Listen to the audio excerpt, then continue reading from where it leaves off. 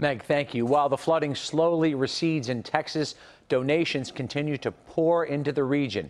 Here in the Chicago area, relief efforts are ramping up. Here's CBS 2's Audrina Bigos.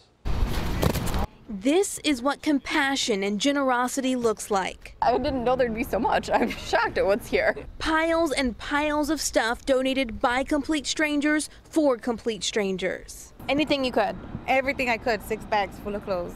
Afrescos in Park Ridge is just the drop off location. This couple is providing the semi trucks to move all of this more than 1,000 miles away to Texas. Did you expect a turnout like this? I didn't. We did not. We did not. No, this is more than we could have ever expected, and it just goes to show that we can do so much by giving so little. Hurricane Harvey victims on the hearts and minds from North Suburban Park Ridge to Fleet Feet Sports in Chicago's Old Town neighborhood. The store is collecting socks and shoes at all of its Chicago locations for the next week. The shoes and socks and all the apparel are going to get boxed and then they're going to be shipped down to San Antonio. Uh, we have two stores in San Antonio, and the owner of that store is going to be putting that product onto trucks and then trucking it directly into Houston.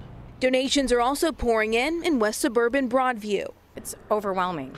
I thought maybe we'd have a couple people in town dropping off water and I could fit it in a van and be okay. Three semi trucks will be leaving the fire department and heading to the Houston area tomorrow, full of everything from diapers to water to dog and cat food. People want to do something. We're not there. We can't help right now. We can't even get there.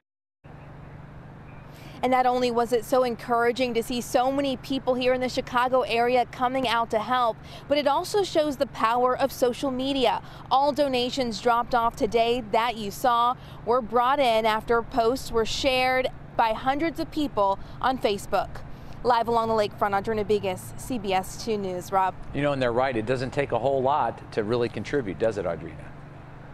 It doesn't. Just a lot of people doing a little bit, anything they can. All right. Audrina Bigos, thank you.